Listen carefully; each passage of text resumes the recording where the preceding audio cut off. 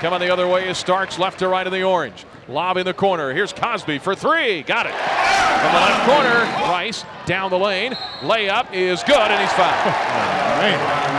Out near midcourt, lob on the block to Nnanna Egwu. St. Louis bodies up on him. Egwu, baby hook in the lane is good. Let's go, big fella. None. Fast break to Starks. Right wing three for Starks is good. Oh my Oh, the Illini are red hot. Full court press. The Illini look to break it. They do. To midcourt Rice. Two on three. Rice down the lane anyway, and he laid it up and in. Shot hits the side of the basket for Triggs. He gets it back, then has it blocked.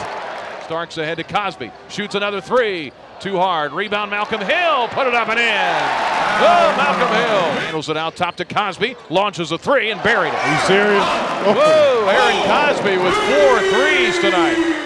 59-24, quick pass inside. They find Egwu. I think it was from Starks. Nothing opens up. Now he drives left baseline, kicks it back to Morgan. From 15, he buried it. Morgan hands it back to him. Cosby right to the free throw lane. Pass inside to Nunn. Drove baseline and laid it in. Rice to Starks. Left wing, long, long three is Oh, good. 14 threes made.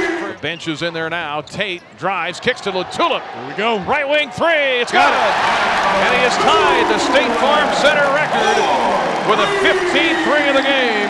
Outlet to Tate. Lob Good to pass. Black with a slam dunk. Not quite wire to wire, but pretty dominant. 114 to 56 the final.